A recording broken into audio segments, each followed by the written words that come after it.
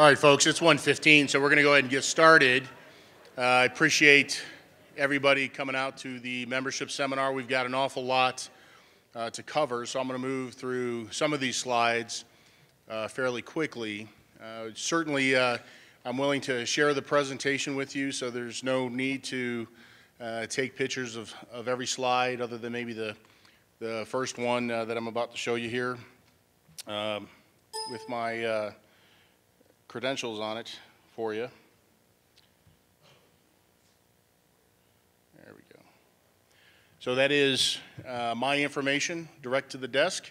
I'd be more than happy again uh, if you just shoot me an email. I'll share the presentation with you so you can enjoy the presentation and absorb uh, all the great information I'm hoping to pass here. Uh, that line is my direct line, 442-2060. Please feel free to give me a call or shoot me an email anytime you need anything. I didn't have any uh, dignitaries sneak into the room on me, the national commander, anybody, today? Okay. Um, so we are trying um, feverishly to, you know, continue to update uh, our program, make things fun, um, embrace technology, and we're continuing that trend with uh, a couple of different programs that uh, we're going to talk about today. Uh, the first thing that I want to remind everybody is about is uh, our March Membership Madness tournament.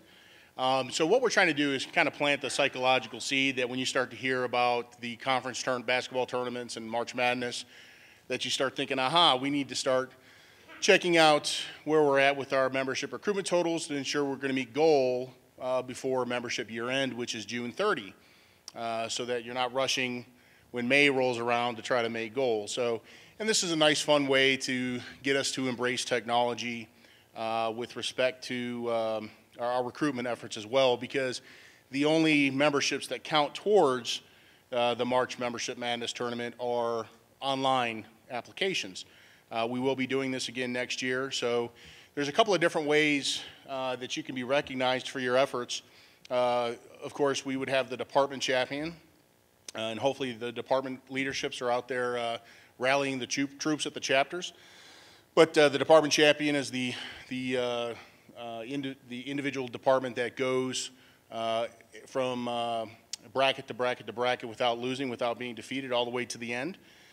And then we also have a department MVP award uh, for the department that recruits the most overall members during this period. So if a department had a, had a bad matchup, um, during one of the brackets, that they're not out of it, they could still get the MVP award.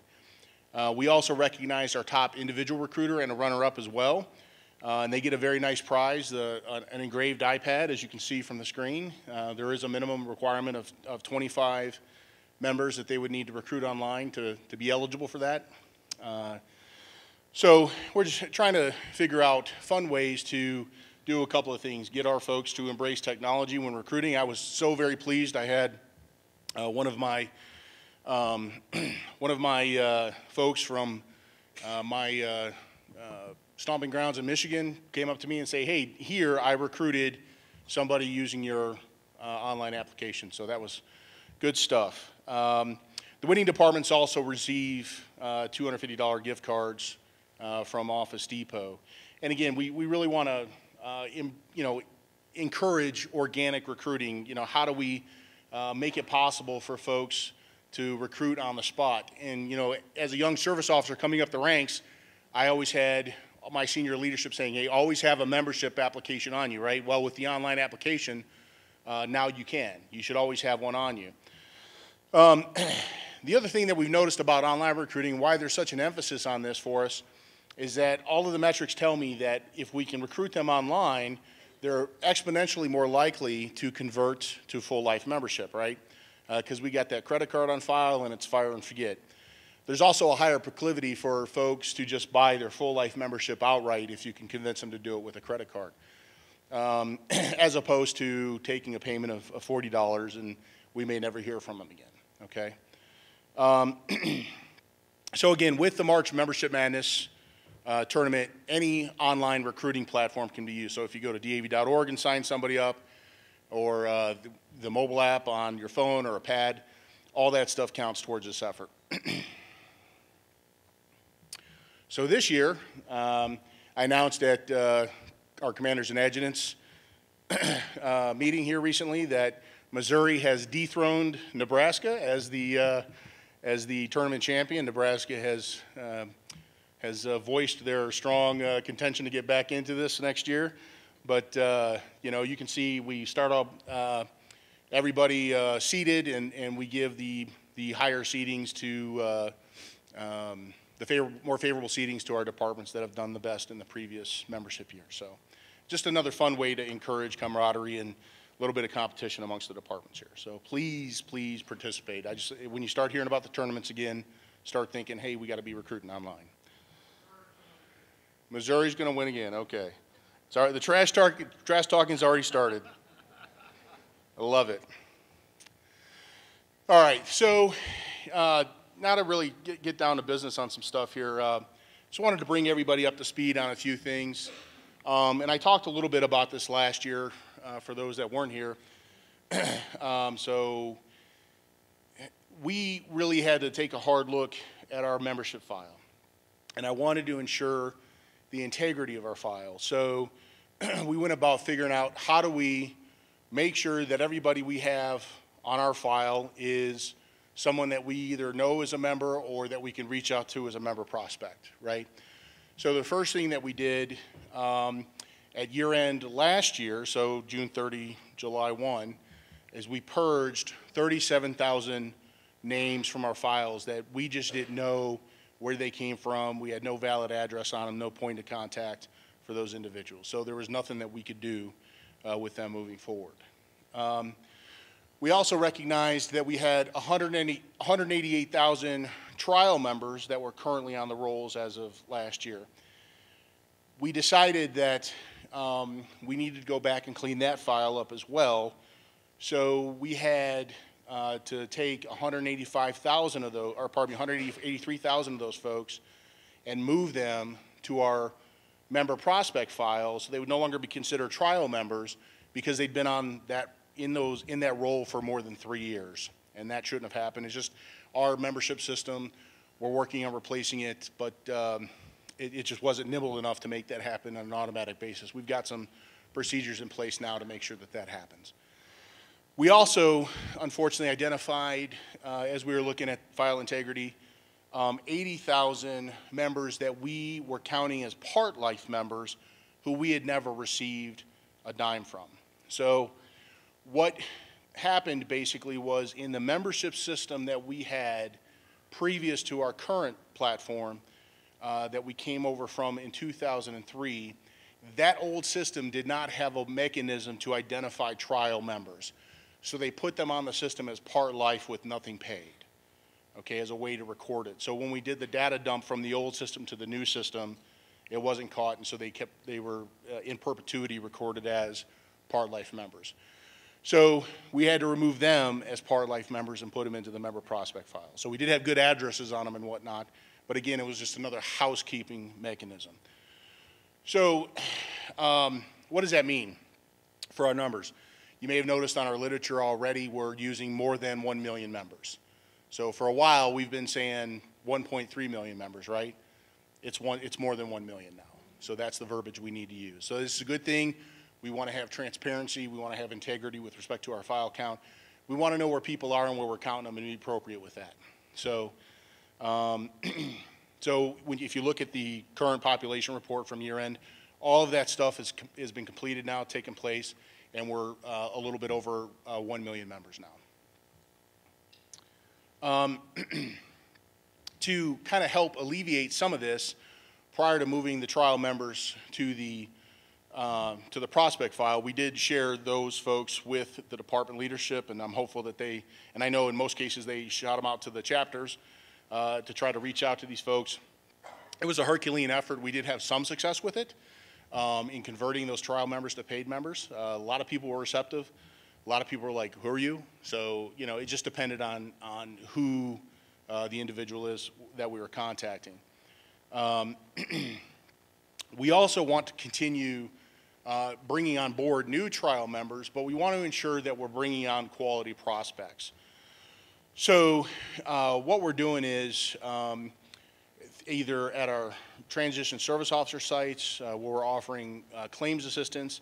There, we cannot directly recruit folks because of our memorandums of understanding with the bases. Uh, so we have to wait until they're out. So we're just recording some basic information from them that does not include their address. We just get like a name, rank, serial number type stuff, um, and a date of discharge so that 30 days after their date of discharge, we can then, then offer them a trial membership. At that point, if they re-engage with us and give them, give us our, our give us their um, mailing address and whatnot, we can shoot them the, the few free magazines and keep track of them in an appropriate manner. So uh, also our, my counterparts in employment are doing a great job of uh, offering trial memberships to our folks that they're engaging at the job fairs. Uh, we'll also be happy to share that information with, with our chapters and departments as well.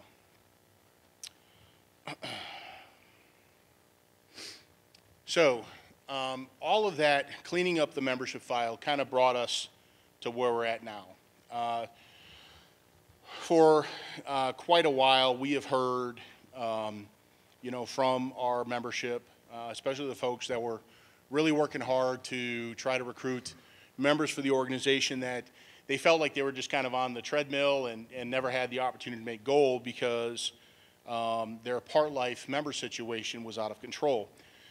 Um, so when I first took the reins a few years ago as membership director, I, um, uh, one of the first things I, I, wanted to do was make sure everybody understood how goal was formulated, how, how you could attain goal.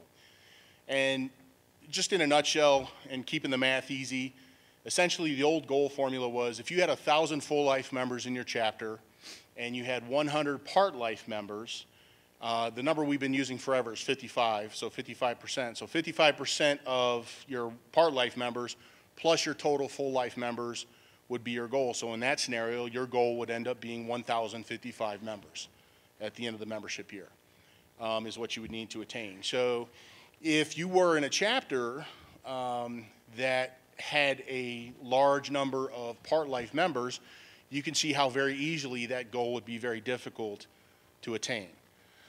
So, um, and it was just, it was really this arbitrary type number. And on the other side of the spectrum, we had a lot of chapters and departments that did an outstanding job of, you know, helping pay down their part life memberships um, and keeping that number very, very low. Well, what does that mean? When we established goal for those folks, their goal was very, very small. And so they weren't required to or asked to recruit that many people, and that's not what we want either. And in addition to that, there was an impediment to recruiting part life members, and I wanted to remove that. Um, and so, fortunately, uh, leadership agreed, and we were able to, um, to change the goal. So, we sent out uh, a memo uh, on January 4th to the departments asking them to give us uh, some information. And what the spreadsheets contained was the zip codes for every single area in their department's jurisdiction. Their task was to designate a chapter or chapters for each zip code. Um, we asked for this to come back to us by March. They did a pretty good job of getting it back to us. Um, we had a few stragglers, but uh, it was a difficult thing to manage. Um, and the idea is we're taking our membership prospect file, folks that we have names, addresses to include zip codes on, and we're taking at least a portion of that file and running it into this zip code file that we've now created for the departments uh, and distributing those folks to determine what their goal should be based on those prospective numbers. So we're establishing a real world goal. Um, we want the emphasis now to be on new members, new paid members. So no longer will the emphasis be on conversion of part life to full life members, because really what we're doing there is eating our own, right? We're preaching to the choir. We want to get out and you know spread the good word of DAV to uh, to folks that haven't heard it before. And again, we don't want there to be that impediment with respect to recruiting part life members. Not everybody can afford 250 bucks or whatever for a membership. So in order to make that happen, uh, we want to make sure that we're sharing the member prospect file, of which I have 2 million names. Remember, there are 4.5 million disabled veterans in the country that are likely eligible for membership in DAV. We've got about 2 million of them. We know where they live, okay? We will share that information down to the chapter level. Uh, all you got to do is reach out and we'll help manage it uh, for you. We'll, you'll let us know exactly what you're after and we can get that out to you. My, uh, my uh, membership specialists um, at uh, headquarters do an outstanding job of um, making sure that our chapters and departments get what they need. So, um, let's talk about specifically how we're deriving the new goal. Now, I described the old goal for you, and that was a fairly straightforward scientific method, right? Uh, it's not a state secret. Um, but it was more sciency, right? Straightforward math. The new goal is kind of more artistic. So it's going to be my job every year to kind of look at the hot list and determine how many of the folks from the prospect list do we need to put on the hot list to overcome our drops. So any members we may lose either due to death or resignation, whatever it is, okay? So if, I, if my analysts tell me, hey, we're going to lose 25,000 members this year due to drops, then I have to figure out, okay, what should our goal be? So it's really going to be kind of a sliding scale. There's no percentage of anything necessarily. Um, but I just have to look at the prospect files and, and determine how I can give you the most viable member prospects to reach out to. so we've designed the system to engage an algorithm that lets us know based on the prospect list, on what we're calling the hot list, if your goal will be better that way or if it'll be better based on your previous recruiting efforts. So what we also did was went back and we're analyzing what a chapter has historically been able to recruit. And what I'm talking about is new paid members. So I don't want you to confuse the current goal that was established July 1 with what your previous goals used to be, because the previous goals, remember, were based on conversion of part life to full life members, right? This new goal is based either on the hot list, so if you're in an area that has a wealth of member prospects, your goal is going to be very different than what it was before. And under the new goal formula, it'll also be very different because it'll be based on the total number of new part life and new full life members that you recruited, not the conversions, just the raw new folks that you historically recruited, okay? So again, some of this is, um, you know, based on our limitations with the current membership system. My analysts have done a terrific job of kind of shoehorning our old system into uh, this new goal into our old system. So uh, we're currently working on a new customer or uh, customer relations management tool, what they call a CRM, that will replace um, our current membership system. And I'm hopeful that we can engage some geocoding to make some of this a lot more accurate and um, uh, it won't be as you know uh, manually laborious as it is on the departments and my staff right now. So the key thing that I want you to take back from here is a couple of different things. First of all, don't forget that. Part life members count towards goal, right? Part life members count towards goal. No longer should they be an impediment to you recruiting, uh, to your recruiting efforts. But the, the chapters need to contact us to request these lists. I would love to just automatically send the lists out to all the all 1,300 chapters. Okay, can't do it. They're too big. You know, we're talking again about two million names, right? those files would be just too big and unmanageable. And, and I'm sure, you know, our chapter in Oshkosh isn't going to send out 10,000 envelopes to its member prospects, right? We want to massage the list and, and figure out exactly what their purpose is, how they're trying to attack it. You know, we can give you a list of just all the members we have in your jurisdiction that have email addresses or all the ones with phone numbers, um, the most current ones. However you want to break it down, my membership specialist can break it down that way for you, okay? but they, they've got to reach out to us. Now, I don't want there to be a point of confusion here. Your goal does not have to be satisfied by recruiting members from the prospect lists. Remember, we only have 2 million of them. There's another 2.5 million of them out there. People were making goal without prospect lists before. I'm just trying to give you a tool that'll make sure everybody has low hanging fruit to attack. Okay? The chapters have got to reach out to my staff and request these files. So, um, and again, this is going to be an evolving process. Uh, when I first was having this conversation, Dennis Nixon happened to be in my office, and he's been with DAV for 40 plus years, right? And uh, I asked him, I said, Dennis, you know, do you remember any time we changed goal before? Because it's been the same way the 23 years that I've been with DAV. He said, no, kid, it's, you know, it's been the same since I've been around too. So this is a kind of a milestone event for us. And I'm hopeful that we'll be successful with it because the important part, again, is to get out um, to the folks that haven't heard our message yet, right? We still need to have internal strategies that promote conversion of part life to full life membership. That's what we want ultimately is full life members. But I don't want there to be the impediment uh, towards recruiting part life members anymore. So another tool that I want to give you besides the, uh, the lists, um, we talked about how folks can sign folks up online. The important part is getting that credit card. All right, I can't emphasize that enough. If we can get the credit card, the numbers tell me they're exponentially more likely to become members. So I'm sure you're all familiar with our membership application. So what we're doing now is working on modifying it. Uh, it's actually waiting for me to approve it when I get back to uh, headquarters.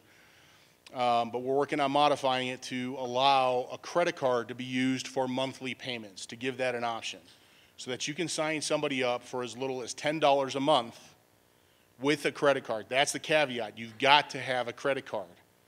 All right? Yes, sir. You can ask a question. Go ahead. You, you use the microphone, sir.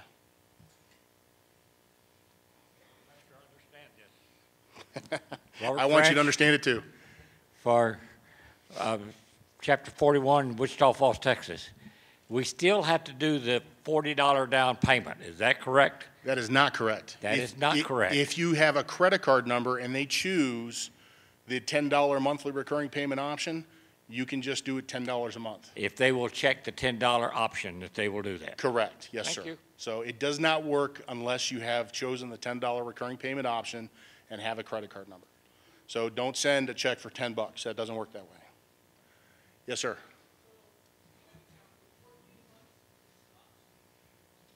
Well, whatever the amount is that they would have to be charged based on their date of birth, yes. So if they're, if they were under 40, their amount is 250, so it would be 25 months. That's when it would stop, correct.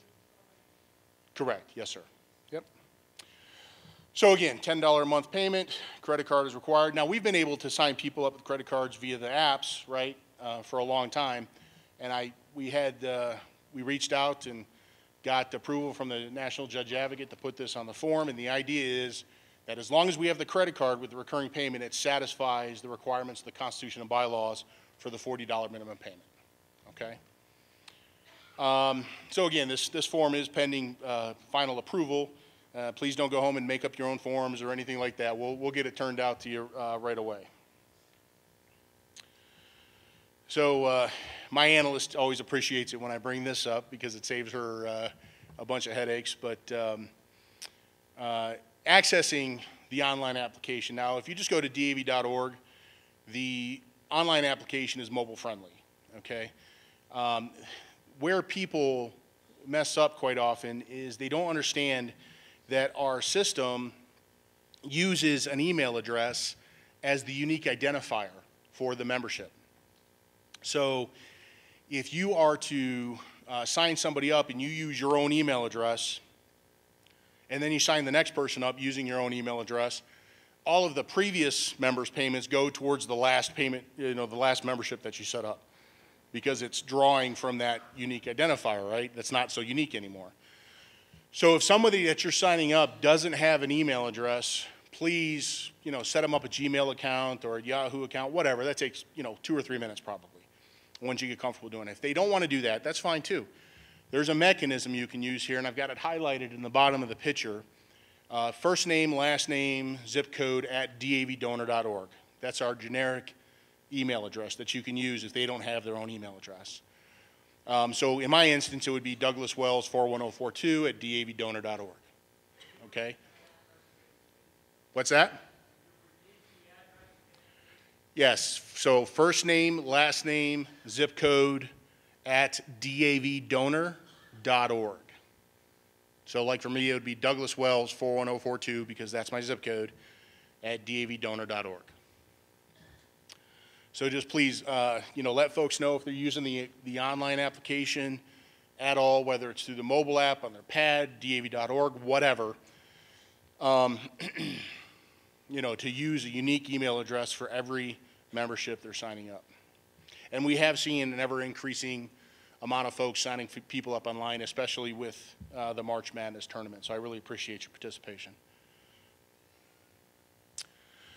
All right, so uh, with respect to the mobile device application, uh, it works with both Droid phones and Safari Apple phones. On the Droid side, um, it seems like Google Chrome works the best for this, and it, you don't have any technological issues. Um, so launch the web browser, whether Safari or Chrome, and there's no weird www or anything like that. Just type in dav.org slash member app, and it'll one of these two screens will pop up, and you'll notice the um, the little light box there at the bottom that gives you directions on how to save it to your home screen. And really, all you're doing is creating an icon from your home screen right to the mobile application. Okay, so we've got that form. You fill it out. The only other little tidbit I would explain to you with respect to the mobile application, again, we're shoehorning a system that wasn't meant to do this into something else, and we'll have a better product moving forward. I promise to leverage technology on your behalf as much as I can, but it's still a great tool to have. Uh, the only issue is if you have to back up screens, sometimes you lose the information. So just make sure you have all the information there in front of you to sign somebody up and advance your screens appropriately and click done at the end, okay? Um, we've also really tried to engage uh, our folks, whether our, it's our members or, yes, sir, you got a question?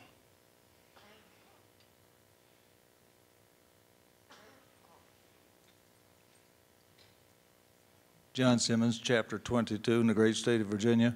On that application, it's on the, uh, the phone we get on there. There, I can't find a place to put the phone number of the new member you're trying to recruit on it. Yeah, that, that was identified to me. I didn't realize that that was the case. I'm fixing that. You fixing it? Okay, Yep. thank you. Yeah, I appreciate that feedback. So, and that's a great point. Uh, You've got my ta- contact information. Anything that you can, that you can, uh, you know, think of that can make this process more efficient, easier for you, whatever, I am totally receptive to that. Um, So we're trying to engage our members uh, and our member prospects online. Um, Look, direct mail is not going to go away. Um, But direct mail, when we send out our annual mailing from headquarters soliciting members, um, it- it's expensive, right? And it's kind of like a, a one-off. We shoot the, the package to that person, and, you know, whether they open it up or not, we don't know, and, and, uh, you know, just paper and postage and all that good stuff, it gets really expensive. So, um, we're shifting some of those resources from our direct mail to online solicitations, and we're getting a much bigger bang for our buck that way. So whether it's Facebook ads or banner ads on Bing and Google and all the other search engines, uh, we're just doing, you know, gangbusters with that stuff. Um, how many people in here have used the proud to be a member uh, frame in Facebook? So, yep, quite a few. Um, I really appreciate that. Share that with other folks. Um, also, something that uh, we're really uh, proud to do is we've developed real stories of members that we've helped or, or members that are going on to help other folks and sharing those stories with our member prospects. Uh, that's really important to do to, to, to provide a real world context uh, for the great work that our members are doing every day, and people are responding to it. um, we will be repeating our fall in campaign. I'm going to show you a little video that we created last year here at convention. Uh, if you haven't seen it yet, it's pretty terrific. Our communications team just does such a wonderful job with all that stuff. But um, uh, we, you know, September, October, we'll start our fall in campaign. I hope you help us uh, reach out to folks and, and recruit. We're giving you tools to recruit people uh, in the digital world. Something else we've really been working at, um, you know, when I when I took the reins a couple of years ago, I realized very quickly that uh, a lot of our partnerships with what we used to call our member benefits was they they were just you know defunct, and you could maybe get a better deal by just getting a coupon online, and none of that stuff, you know, honored the service and sacrifice of our members. So I was very disappointed in some of that. And so with those partner, partners, um, you know, we severed ties and we said, we, hey, we'll circle back around with you and maybe get something that's appropriate uh, for uh, the service and sacrifice that our members have, have offered. Um, so we've now rebranded um, our benefits package to call it Member Advantages. Apparently, there was some confusion too. Whenever we said member benefits, people keyed into VA benefits, and that's not what we wanted. So our Member Advantage partners, our Member Advantages program, um, now has you know some oldies but goodies, and a bunch of new partners here. Um, so our members will enjoy discounts and special offers from our growing family of partners, and in return, all of these members, uh, all of these partners will give back to DAV for our members using their services. Um, so that's kind of a key component of what we're trying to do. It's called an affinity relationship. So when they get paid, we get paid, and we can turn around and hire more service officers and buy more vehicles and all the great stuff that we do, right? So, uh, you know, Ford has been a legacy partner with us for a long time. USAA obviously is a stalwart. Um, North American is really uh, the biggest legacy partner that, that didn't want to uh, lose us, so we kept them on board from, you know, through the whole process, and they've signed a nice deal with us. Uh, Identity Guard, you know, it's uh, threat uh, identity theft protection. 1-800-Flowers, everybody's familiar with them. Mobility Roadside Assistance, they're like tow trucks that can accommodate people uh, with special needs, like if they're in a wheelchair or whatnot. so that's pretty terrific. And PCSgrades is a, is a company that uh, does like real estate services and whatnot as well. A uh, little inside baseball, we're getting ready to close the deal with Avis and Budget. So we'll have a rental car company on board as well. So this, these uh, partners will continue to grow and grow and grow until, um, well, not until, but uh, we just want to make sure we're uh, using this and leveraging this as a, as a way to continue to enhance and improve DAV's programs and services. So I mentioned uh, we filmed a little video last year at convention uh, that we're using as part of our fall in program uh, or campaign. We used it last year. We'll use it again this year uh, with some other stuff that we're planning on doing. But I just wanted to share this with you if you hadn't had a chance to see it yet.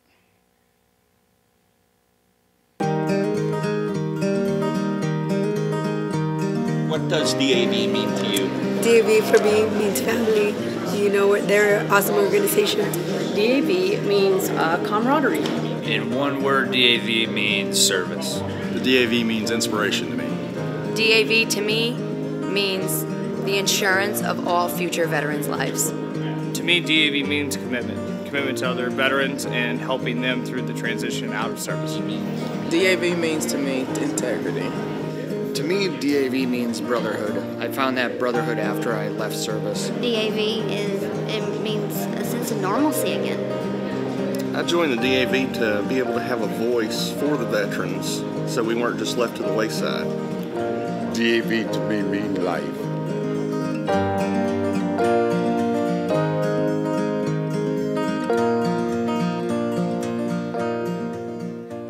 Again, thank you to our communications team for that. They did a great job with that again. Um, so I, I, mentioned I was going to try to fly through these slides because I'm sure I'm going to have a lot of questions. But before I take your questions, I just want to do something that I was remiss in not doing in the in the beginning. I want to recognize a couple people. So first off, in the audience, uh, if Robin and Heather could stand up, Robin Higgins, my membership manager, and Heather Kohlmeyer, my business analyst. I don't think uh, Robin's left uh, registration more than a half a dozen times all week, so uh, she's doing a great job for us. Twice, okay, she's telling me twice. Yes, you'll get a raise, Robin. Um, but, uh, uh, and Heather is one of my business analysts. Uh, her, along with Darlene Purcell back at headquarters, just, you know, blow me away with what they do every day. and also want to recognize our interim membership committee. On the end, we have Penny Johnson from Utah. Tank Mizio from Missouri. Mason Causey from Louisiana, and Warren Tobin from the great state of North Dakota, our chairman. So, uh, and afterwards, after we finish up here, uh, they stand ready to answer questions too. And if they don't have the answer, they can certainly uh, articulate it and give it to me, okay? So, with that, questions? Please use the mics if you could. Hey, Tommy. Hey, Doug. Tom Wendo, Chapter 10, Virginia. In reference to the list that you're going to be sending out to us once we request it, um, let's just say I asked for the list with people that have emails. As far as a templated letter, have you thought about creating a letter that I could use to put into that email? No, that's a great idea, though. I can't wait to hear, see it from you, Tommy. No. Because I was thinking the idea. same thing when you, with the, you know, I got the list of the prospect members, and, you know, I called Robin and said, hey, is there a letter? And, you know, she said no, and I was thinking of a way of creating a letter for that purpose. Actually, that's a great job for the interim membership committee. Could you uh, write that down and we'll work on that? That's, that's a great idea. Thank you, Tom. All right. Thank you, Doug. Uh, Boyd, Chapter 1, Raleigh, uh, Knightdale, North Carolina. A follow-up to his question, why do we have to request the list? Why can't you come up with a system that pushes the list down to each of the chapters? So as I was mentioning, the, the list, the files would be too unruly. They get too big and we just, they're too big to email. Um, and on top of that, I don't want to send you stuff that you just don't need. So if you, if you kind of talk to my membership specialist and let them know what you're looking to do, whether it's a mail campaign or a uh, email campaign or a phone campaign, whatever it may be, they can massage that and get you the, the best, most current, hottest leads. All right, thank you. Yep. I'm not that tall. And, and by the way, it's not just calling us. If you want to shoot us an email at the membership public email box, you can do that as well. Bonnie Roan, Colorado Commander. Hi, Bonnie. I still carry my book around so I can sign everybody in, but because I like the information that is on the carbon, so I can follow up with them later, because once you put it all on here or whatever, you've lost their information. And a lot of times I like to get back with a telephone number, email, or something like that, ask them how they're doing, mm-hmm. but you don't have the carbon on here. Let me. Go ahead. Okay. Now, here's the strategy you can do on that. What you do is after you get them, then you go pull that information off on the membership portal once they're a member, and then you can contact and say, congratulations, you're now a member of the DAV. We've got your information. You can do the follow-up that, at that point rather than off the carbon. Okay, maybe do, I, I can do both, but I still carry my book around because I Yeah. like the well, it's pre- preference, but I mean, this, the other, I'm, I'm just That's pointing out another strategy that you could use. Right, Okay, and, and because- we, we did look at something like that. Again, like I said, we're using technology that just isn't capable of being that robust, but the Yeah. new technology that I'm hopeful to employ could also CC the recruiter, so this, whoever the sponsor of that member was. That's what we're gonna try to do for you. Thank you. Yep. Great ideas. Yes, sir. Good sir. afternoon. Fred Smith, Senior Vice, State of New Jersey. Uh, I looked at the, last year I was the chairman of membership, and I looked at those spreadsheets. They were a horror show to try to put them together. Now, I understand you say now you have the zip codes to go with them. I have two secretaries still working on it to try to, the part-time uh, members, to try to find out who they are, where they live, and the zip code. So can we get that? Try to make life a little easier? So what you're talking about, I think, were the trial member zip code lists, right? So all of those folks have been moved. We can give you better prospect files now moving forward. All that was meant to do was to say, hey, the, we're on the clock with these particular people. If we can reach out to as many of them as possible, and I knew in some cases it was, you know, 150,000. I, I get it, you know, so you don't really need to worry about those anymore. They're part of the prospect file. And if you get new prospect files, and as I mentioned, let my team help massage the file for you, you'll be in a much better place. Thank you. Yep. Yes, sir. Good afternoon, Carl Martin, uh, Chapter 5, Los Angeles, California. I have two questions. One, on the online application for somebody over 80 that there's no payment required, you cannot submit it. So uh, I think what you're experiencing there, there is a box that you check that says over 80. Depending on your internet connection, you have to wait a moment and the form will switch. So all you have to do is record their, like their name, address, birth date, their information that way. Um, Or when you put in their birth date, it does it automatically now. That's what it does, right? Sorry, so we just made that change here recently. Uh, Uh-huh. so, yeah, you got to give the form the opportunity to switch based on your internet connection. So it'll switch to a different form that will not require a payment. Okay, I couldn't get that to do that. Uh, the other thing is, uh, when we submit memberships for our chapter, a lot of times our members are going to another chapter uh, and not to our chapter when we're specifying it. Why is that? And how can we reverse it other than do the routine of submitting the transfer? It seems like it's a problem for us. Well, uh, again, that's been an ongoing battle with this system for us, um, making sure that folks are being put into the appropriate chapter. Unfortunately, uh, the way that the system works right now, um, just to kind of, again, give folks some inside baseball, is whatever chapter, so if you put in 41042 for the zip code, the, the system doesn't use true geocoding. What it does is it finds the chapter that has the most members that have 41042 as the zip code, and that's what it tries to default them into. That doesn't always work out based on geography or whatever the case may be. So you kind of have to override that and let it know. But what you're telling me is that you, you select a specific chapter and it's putting them in somewhere else? Right. Okay, so we'll have to take a look at that and see what the, the, what's going on technologically there and try to address that for you. Could you send me an email? I have my cards up here. I, I certainly will. Yeah, send me an email and, and we'll look And, at that. and the one last quick thing I got is, uh, on the portal, getting in there, uh, it, it locked me out. I can't figure out how to get in it. Who do you call? Who do you contact? So we had a seminar here. We do a seminar every year. I do two seminars, our membership portal seminar, and I do that on the, on Friday. And then we do our membership seminar. But Heather Colmeyer here, the person, one of the people, I'll just say, raise your hand, Heather. She's got a desk in the registration office, uh, in the back corner, and she can help you fix that. Great, thank you so much. Yep. Hi, Daniel Floyd, uh, Chapter 92, High Desert, California.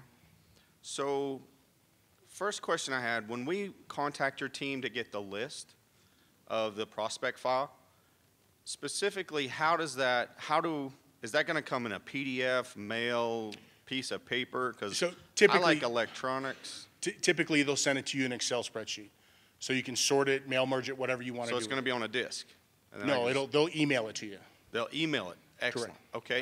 So then, once I get possession of it, um, and I start pursuing it and working it, you know, like a good recruiter does, um, our conversion ratio, why don't we incentivize when we get that list for, you know, those isolated pieces, the person that is, or the chapter that's working it the best? And then I think that would give us more incentive to convert what you guys have collected Mhm. to what we actually are gaining. You know, that's, that's a great idea. Um, again, I, I keep, I hate to keep leaning on this, but, you know, the, the limitations of the technology that we have, with our new system, perhaps that's something we could track at that finite of a level. Uh, but right now, we kind of have to keep it to a global standard so that, uh, um, we're not, you know, being drugged down in, in record keeping, you know what I'm saying? I understand. That, Okay. that'd be all we do all day, day, every day. But if we could automate that process, I'm all for it. I, I love individual accolades like that for chapters and, and individual recruiters. Okay, thank you. Great idea, thank you. Yes, sir. Good afternoon, Doug. This is Greg Dunham. I'm First Junior Vice Commander, Department Texas, Chapter 22 Commander of Department Texas. Uh, I'd like to report that we are leaning forward. We have already taken the list from you, and we have our first open house of Chapter 2 residents of Texas in our zip code areas uh, in August. So we're doing that. We're leaning forward on that issue. But my issue is that by our bylaws, that if you are not a paid member within two years or have made a payment within two years, you're a member in bad standing. What is the what is the DAV official rec, uh, stance on that? So when you say our bylaws, you mean our DAV's bylaws? Our chapter bylaws. Okay. So that would be not in accordance with DAV's bylaws? Right. So you would need to change your bylaws on that? Okay. so Um, what what is the official stance? Right. So the official stance is, um, so a couple of things, and I, we've been talking about this an awful lot lately, I guess. I don't know. So, um, here's the thing, as your national membership director, it's my responsibility to make sure that if Joe Schmuckatelli sends in a membership application with 40 bucks Right. in 2018, Right. I need to keep a record of that, right? So after we've made so many distributions based on that payment to the chapters and departments, everybody's familiar that we distribute out for fundraising purposes to the chapters and departments, right? Um, after we've exhausted that initial $40 payment, um, they would then eventually, after three year ends, go to uh, the department at large. They'd become what they call, what we call an inactive member. Right. They go to the department at large and then ultimately to our, what we call our NOMAD chapter, our national at large chapter, okay? Right. So technically, when they pay, when they become a part life member, they're really a member forever because I have to keep them on the rolls, not towards our active membership. Okay, this I'm getting a little into the weeds here, but I have to keep a record of that because if in 2025 Joe Schmuckatelli walks back in and pays off the other 210 bucks, I have to apply that credit to him, okay, and make him a full life member, right?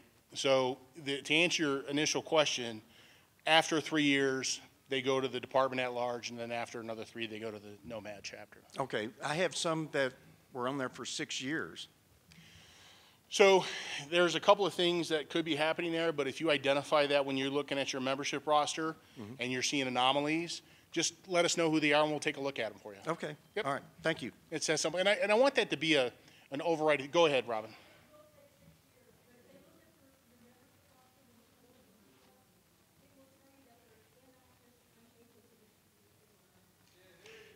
Uh, okay, what Robin just explained, and pardon me if I wasn't clear on this. So, once you they exhaust their membership, which will take a couple few years, then they have to be inactive for three years in order for them to go to the department of large. Okay, I apologize. understand. Thank you very Right, much. Yep. So, and they're inactive, unable to distribute. So that's what Robin was saying.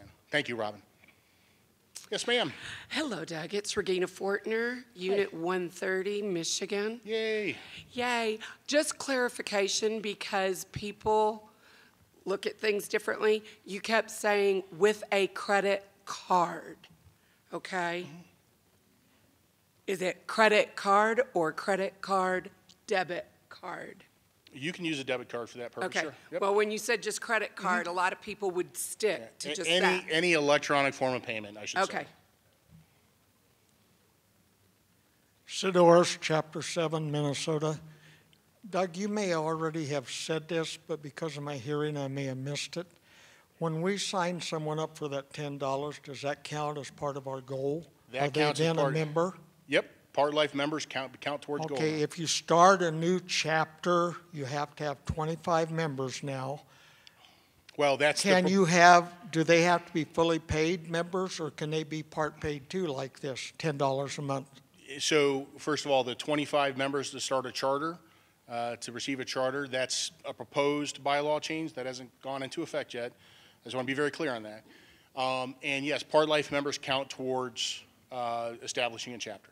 Yep. So we could have, sign up 25 people at $10 a month, and they could start a chapter. Correct.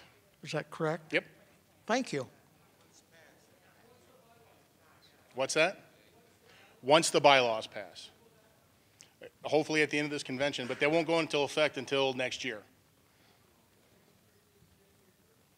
No, it'll be the next membership year, July 1st. Good afternoon. Maddie DeBramoletta, uh, Chapter 4, South Carolina. Uh, Thanks for answering the question about the inactive members. I did have a question about that, and uh, I'm clear on it. Uh, The unable to distribute was on the list, and I didn't understand what that was all about, so thank you so much. My other question is about the at-large members. Um, When uh, the veterans go into the DAV and uh, file their claims, and then they ask, they become a member, if they do not specify what chapter they want to go to, is in this at-large. Did I understand correctly that you look at the, that the system look at the zip codes as to where uh, your chapters are assigned, and that's how they are distributed? Well, no, no, no. So, um, first of all, I think you had two different questions really kind of in one there. If we receive an application at headquarters where there is no chapter assigned, my team assigns the most geographically convenient chapter. Okay? So there, we don't put people in at-large chapters. We assign them to chapters. So even if they did not personally elect to be in a chapter, if they're a brand-new member, we're going to put them in a chapter, okay? We don't want folks in at large chapters. Um, That doesn't help you with your distributions either. Uh, Secondly, what I was talking about with respect to the system and the way the zip code works, what I'm saying is if you put in, like for my zip code, 41042, okay? The system gives you a list of chapters, and the, the one that's at the very top will be the chapter that has the most members that have the zip code 41042. Thank you. Okay? So that, it's just, it, it, the system did not, was not able to employ true geocoding back then, so. As a uh, membership chair, would I be able to, will I get, ex? can I have access to the at-large for my state or for those zip codes and then, uh, Or You're at the department level? no? Yeah, so if you're at the chapter level, we'll give you the, the at-large for your chapters, uh, z- um, oh, what's the word I'm looking for? Yeah, they're, a jurisdiction, that's the word I was looking for. Thank you so much. Yep. So the last two questions right here. Gary Coletti, Chapter 46, Whittier, California. Uh, I'm a, cha- I'm a uh, Department Service Officer for DAV, but I'm also a Service Officer National for another organization, VFW. We recruit a lot of, uh, a lot of uh, young OIF, OEF, uh, Desert Storm, everyone that are going to college, community college, uh, state colleges and that. Most of them have a veterans club. If your chapter service officers or your department service officers uh, go to the colleges and introduce themselves and tell them about a 21 0966, an intent to file. A lot of them are struggling to stay in school and uh, stay in school and finance their way uh, through their life. Uh, You're offering them an intent to file, gives them one year to file a claim, which a lot of them are because they're back from Afghanistan or Iraq or uh, a combat zone. Uh, Could be PTSD, could be any of the uh, Desert Storm or whatever things, but that intent to file on a business card saying where their chapter is at and come in and have them help, have them come in and visit without obligation and uh, get help in, in starting a claim or something within the first year.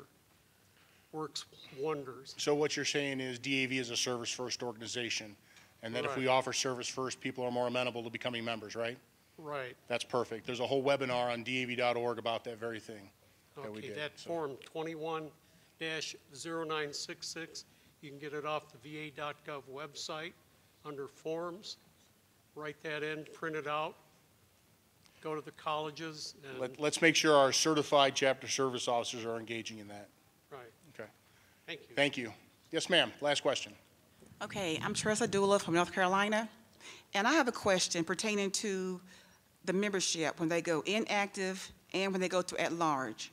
As far as the chapters, are we still like per se paying taxes on members, and do we get money back on them?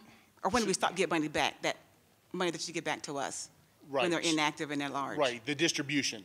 Yeah, distribution. Correct. Yeah, so if they're inactive and unable to distribute, then no, you don't get anything for them. Okay. So, but the idea is, we want to give them a chance to come back in and fulfill their obligation before they're taken out of your chapter. Okay. Because once that happens, in order for them to get back into a chapter, we've got to execute a transfer form, Okay, right? all right, thank you. All right. Robin, did you have a point of clarification that you wanted to make?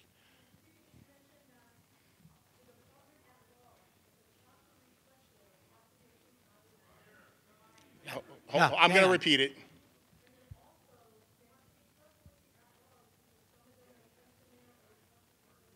Right.